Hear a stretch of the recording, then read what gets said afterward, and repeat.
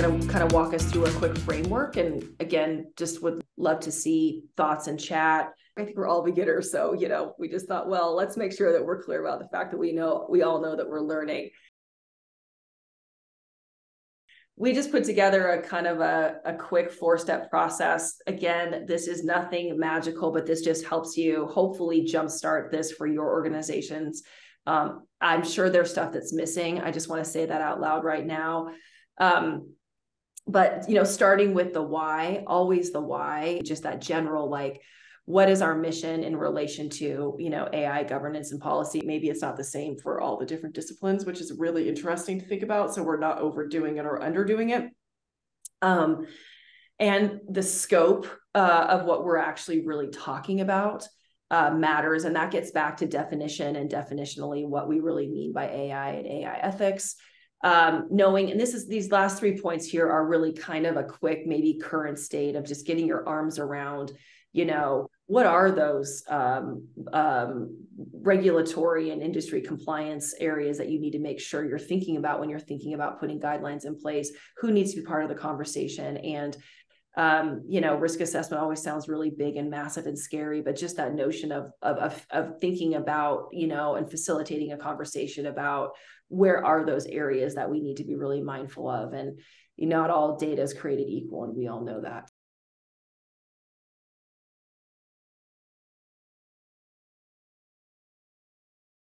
Um, step two, of course, is then building those AI principles and policies. And I do think we can start to frame these up today um, you know, these are some guiding questions here. You can put into chat, chat GPT other guiding questions as well. And then I just, we wanted to list just some of the possible places that you might need actual policies around data, around jobs, around discrimination, big one on plagiarism and inaccuracy and misappropriation of, of information and then what's your what's your re- remediation and proactive approach to deal with um, infractions essentially so again, just things to, this is all about giving us like ideas uh, about, um, about where we might need to be expressive and explicit about our principles and policies. Jerry, you just added um, uh, a couple things in here too accountability data quality privacy equity equity ethics security and transparency so again that's a really good a really nice framework as well right just like to think about like oh okay you know we might those are really good buckets to think about building guiding principles around so uh, uh Tommy, you're, you noted on here as well. I thought this is an interesting point. Some say it's it's um, it's too early and we need to wait for the next gen of AI. Yeah, you know, I think that's really interesting. Um, when we really, you know, we've been talking a lot about the idea of there's layers of of, of organizational transformation, and um, there's layers of AI and AI usage, and you know, at the very big big part is organizational transformation, and maybe that's maybe that's too early uh, for organizations that you might be dealing with, but kind of a couple other parts of the organization that AI is already influencing would be product and service transformation and really starting to think about that.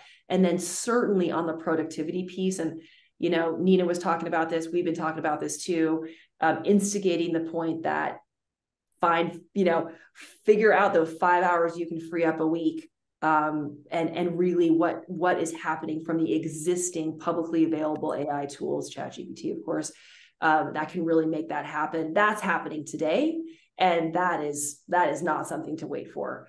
Um, and that's why it's really important to be clear about how we are are enabling organizations to use those tools. So you'll get the deck, of course, but these are just Google's AI principles. So I thought these were helpful mm-hmm. to share. Um, and um, these are Forrester's AI principles. I thought these were helpful to share too. I think uh, Jerry, this kind of gets into the ideas that you shared there too, just kind of like buckets we might be thinking about from a principles perspective. I just want to say the entire purpose of guiding principles is to help everybody in your organization understand the behaviors that are expected I think it's really easy to create lists of things. We all know how to create lists of things. Um, making sure that people use the list of things is so critical, and how these are articulated are really about behaviorally what are the expectations. So I just wanted to make that. And um, and I also want to say that organizations don't change when we just send the email with these bullet points. Organizations realize change because we have created process that co-creates guiding principles as an example. So I just want to say that because all you need to do is plug AI guiding principles into chat GPT and you can get a list. That's not going to do it. It might give you the inspiration and the framework, but it's certainly not going to um, not going to deploy uh, the right behavior through your organizations uh, and your organization's teams. Going back to the merits of good strategy is the design, implementation, and adoption. And that same structure and discipline that we all use for org strategy has a home with AI. You know, leadership and staff are going to feel a heck of a lot more comfortable knowing the focus of where we're taking it and why and what the areas of opportunity are, even if it's a low hanging fruit, and to to identify the fields of play, test and vet is do the proof of concept, then roll out the adoption once the proof of concept shows here's the the gain and the return that we've yielded through the test. Now let's roll it out farther. And just have, having that visibility to what our game plan is. So we just don't have a lot of people running around the field without a, a playbook. That's exactly right. And um, Paul mentioned earlier in chat here too this notion of the fact that as strategic advisors and facilitators, either internally or externally, people expect us to be a relative expert on this topic. And we can all just acknowledge that that makes us feel a little bit shaky. But what we're not shaky about is understanding how to facilitate a conversation like this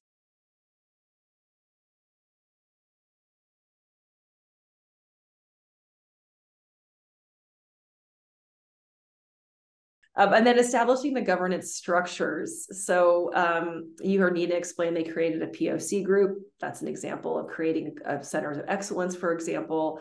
Um, maybe they're working groups that are job alike working groups. Um, you know, asynchronous places like Microsoft Loop is a place to like house learning, maybe a Slack channel, Teams channel to share real time learnings um, with a broader group of job alikes, for example um, you know, I really feel like the way that we're going to see productivity gains is is that like that internal innovation and learning from each other specific to the work that we are all doing you know and i can just speak for you know our team just really challenging ourselves and you know and how we're structuring the right prompts, feeding the system the right information to help us do whatever the task is that we all know we're trying to get done. And there's a lot of nuance to all of that. And the faster that we can learn as an organization, the faster we're going to see those productivity gains. That's not the big organizational transformation stuff, but it is the productivity gains. We get the productivity gains, then we're able to do some of that bigger stuff as well. Uh, and so I think that that is just, you know, super interesting. And we can learn faster if we create the structure to learn from each other. And so I know I, I, I was thinking about this, Jeff and I were talking about this, like, oh, that's another group and it's another meeting and it's another thing. And so, of course, like how we bring this conversation into maybe an, an existing structure, um, or maybe it needs to be a, a separate structure. Everybody's super fired up about this. Um, but I think it really, really matters that we're intentional about how we learn from each other in an organization. So, yeah, um, and there, there's a very real opportunity for us to create competitive advantages today that we didn't have yesterday.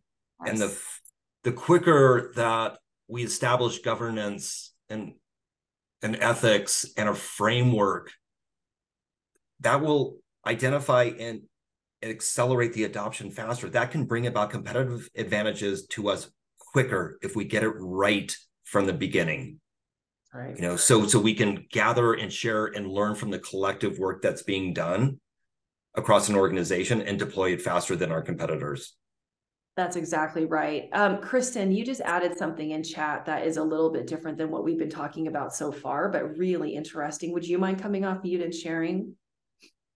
So when we when we brought to um, our board together your comments from last month, which was about you know making sure that we had a place for this to live, so that there was somebody that was helping us keep an eye on it, whether that's from trend perspective or growth perspective.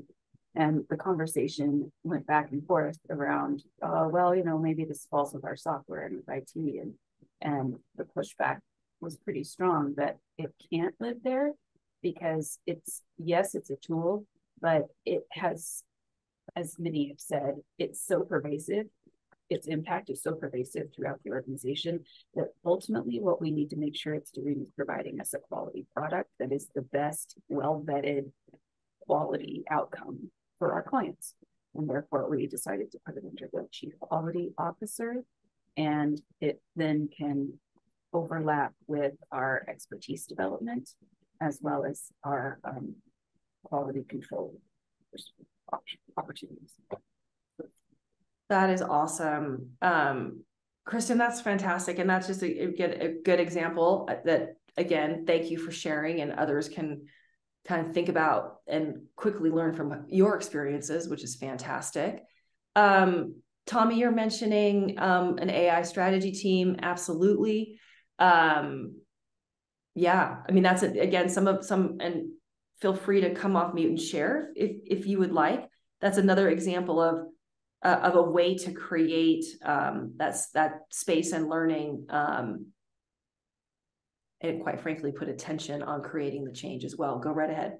Hey Eric, I'm here. Yeah, I'm just trying to gain momentum uh, yeah. because a, a lot of not all, but a lot of my clients want to wait, as I said earlier, and I'm just um, encourage them not to wait and not to worry at this point about the time and money aspect.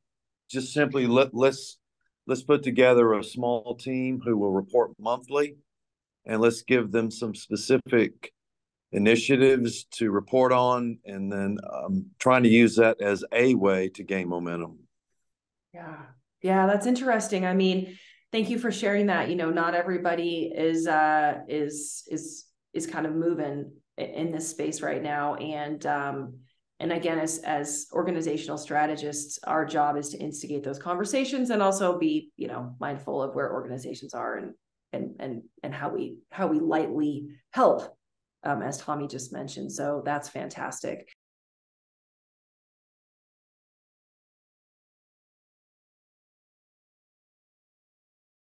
There's one last step on this too, again, just to make this really easy. I'm really thinking about um, the notion of um, standardizing and learning, uh, uh, uh, standardizing the use of third-party tools outside of ChatGPT, of course, um, that are in compliance with your AI principles. I think that's something that will help accelerate those productivity uh, gains. Microsoft Copilot. Um, but that's I think interesting because that really helps if you're creating some vetted tools um, and again, this is kind of obvious, but it's just moving so fast. It's hard to stay on top of this, honestly. And then, of course, we're building some stuff internally, and that's a much bigger deal.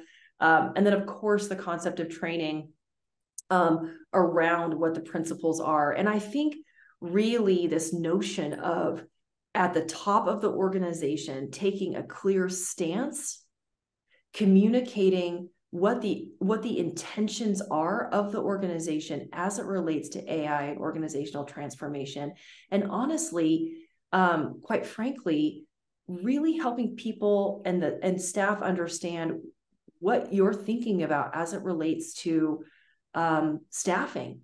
And everybody's watching what's happening with layoffs, and everybody's watching what's happening with efficiencies as a result of um, as a as a result of of AI and uh, really helping helping your organization understand what your leadership's team intention is, uh, even though it's a little bit of a moving target, probably a bit. Uh, I think will really help your culture and also assuage fears that are really present with this this conversation as well, and just kind of calling that out. Um, and you know, for all of us, I mean, I think about this for for all of the practice that we all have uh, you know what does this really mean for all of us in terms of of, of building uh, building strategic plans and and OKRs and um, you know uh, uh, doing all of that great work that we all do uh, you know pretty soon we're going to have a a superpower copilot machine that does that for us. And when is that when is that going to happen and how fast can we build that i don't know we're working on it but i'm sure a lot of people are working on it Uh, and what does that and what does that mean in terms of how we uh, how we change our profession and our jobs? And so a lot of people are thinking about that, and we all should be too.